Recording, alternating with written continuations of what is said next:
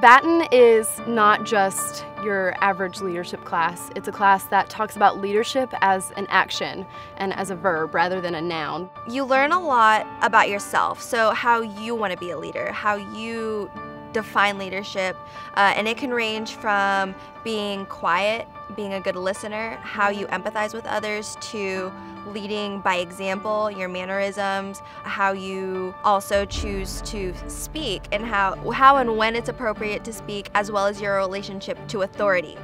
The Batten Leadership Program is a place for reflection and growth. The core of it is coaching, evaluation, and appreciation. So we all need different types of feedback. We're given different types of feedback, as well as the type of feedback that we're getting often gets lost in translation. So one of the most important things that I've learned um, in my Batten classes is that I have to ask for what I want.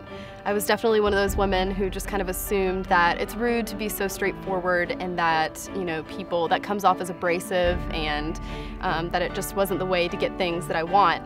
But you also have to have an idea of where you're at and how you're doing. And sometimes people aren't just willing to give you feedback, uh, you also have to seek it out.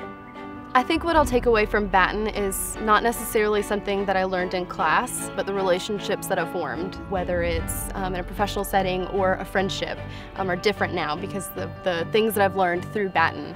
What I will remember about my BLA experience is not only watching myself grow, but other people grow.